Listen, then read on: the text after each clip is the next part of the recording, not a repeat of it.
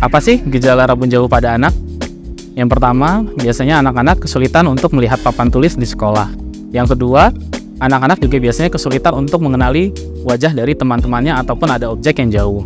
Selanjutnya, anak-anak juga kadang sering merasa matanya sering kelelahan atau matanya menjadi perih.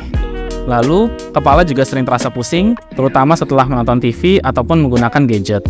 Yang terakhir, Anak-anak sering mengedipkan matanya secara berlebihan saat mencoba untuk melihat benda yang jauh. Selanjutnya, pengobatan rambut jauh pada anak itu seperti apa?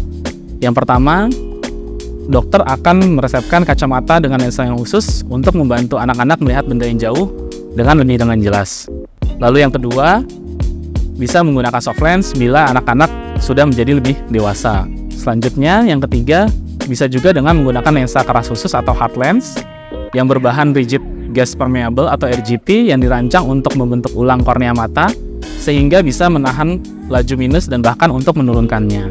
Jika sudah lebih dari 18 tahun, operasi lasik juga bisa dilakukan pada anak. Bagaimana pencegahan rabun jauh pada anak?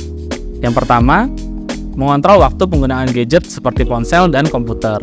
Memberikan istirahat untuk mata dengan mengikuti rule of 20, jadi setiap 20 menit melihat benda yang berjarak 20 kaki selama 20 detik.